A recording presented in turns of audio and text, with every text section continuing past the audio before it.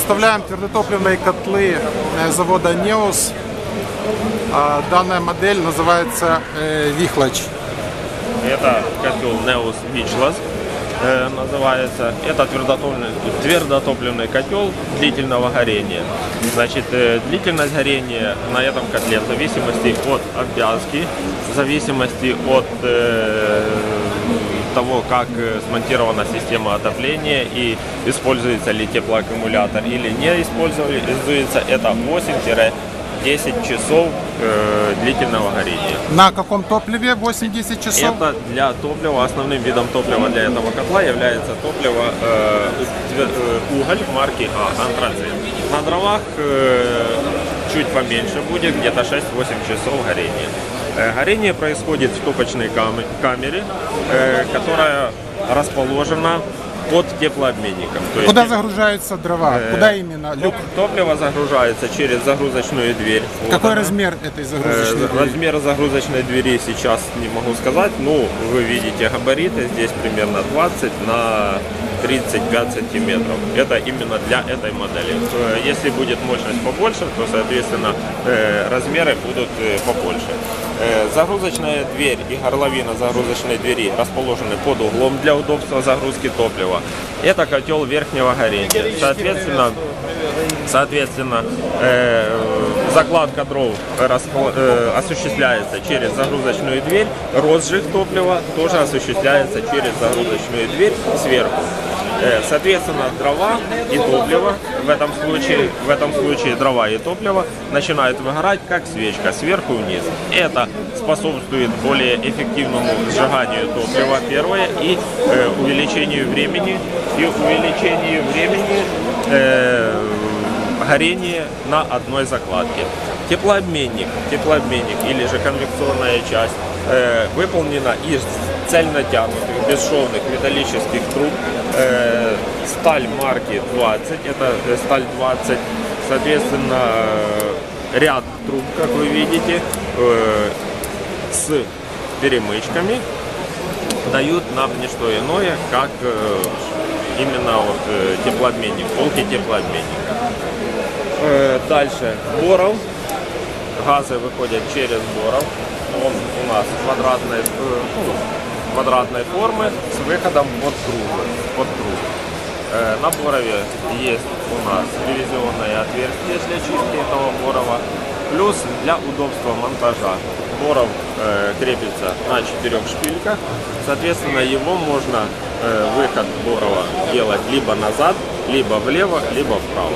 То есть как удобно, где удобно будет э, смонтировать дымоход. Выход дымохода, вы так называете, Боров, я первый раз слышу такой термин. Э, да, выход дымохода удобен в- Да, разные да, стороны. в разные стороны. Слева, справа и назад. Э, дальше. Поддув воздуха осуществляется при помощи вентилятора.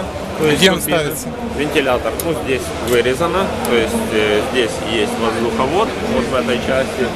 Ну, можно на большом котле посмотреть, то есть это котел в разрезе у нас. То есть здесь. И плюс идет обвязка воздуховодов э, с регулируемыми ручками, которые, при помощи которых можно осуществлять поддув воздуха либо снизу, либо посередине через форсунки, либо сверху через отвод в верхней горловине. В зависимости от вида топлива, то есть либо это дрова, либо это будет уголь, э, соответственно будет э, алгоритм открывания той или иной зоны поддува воздуха. Какой диаметр дымохода?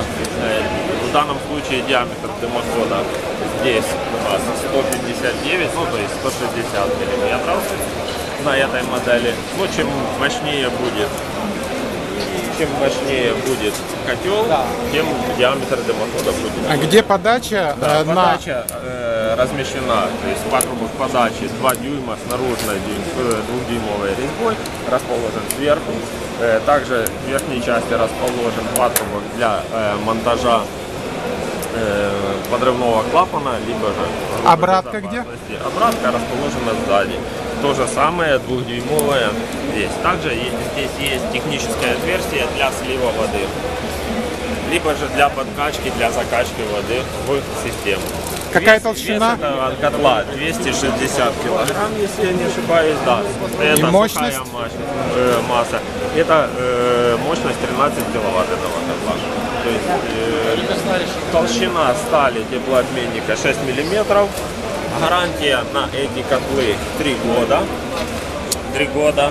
Э, э, в мощность этих котлов от 10 киловатт до 120 киловатт. То есть можно сказать, что мы закрываем и бытовой сегмент, и промышленную, Руку. да, промышленную.